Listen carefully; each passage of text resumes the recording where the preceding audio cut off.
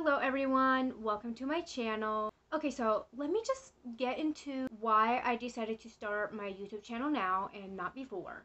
Um, the reason why I decided to start it now is because right now is literally the perfect timing. I have no job. I'm getting ready for a wedding in like two weeks. I'm Actually less than two weeks. I don't have a job right now because we are planning to move to Tennessee then. I will be probably getting a part-time job down there until like my YouTube channel is up and running. So I just decided to start it now. The reason why I didn't like two years ago when I wanted to is because it was not the right time. It was just a low time in life and also very busy.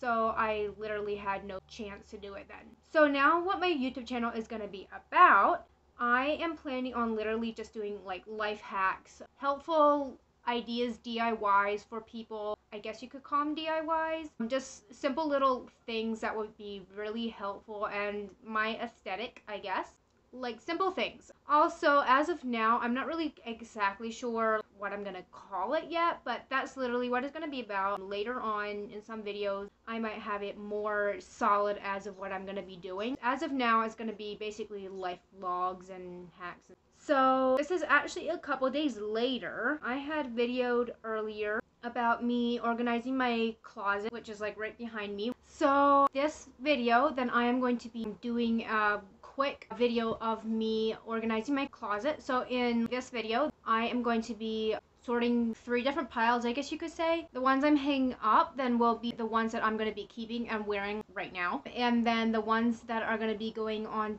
to a pile, I think like on this side, I am going to be getting rid of. And then the ones that are going to be on this side, I'm going to be storing away for the winter. So let's get into the video.